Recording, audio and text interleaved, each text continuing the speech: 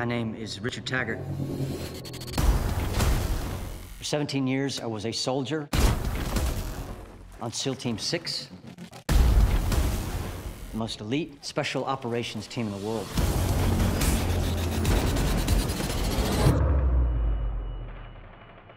You're not a SEAL anymore, Taggart. So you follow orders. 24 hours ago, armed men assaulted a girls' school in Nigeria. They also captured Richard Taggart, former troop chief at this command. Sir, who has him? I'm just a Muslim kid from Michigan who found out that the American dream was a lie. We're gonna bring Rip back home, because that's what we do. We get in, we get out, we ask for forgiveness later.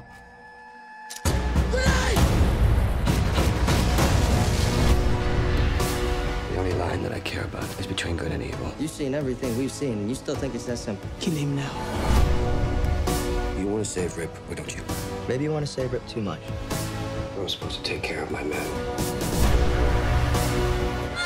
Say she got shot. She needs help.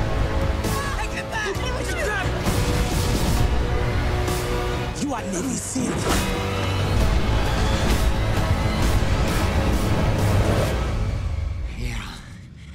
I'm a Navy SEAL.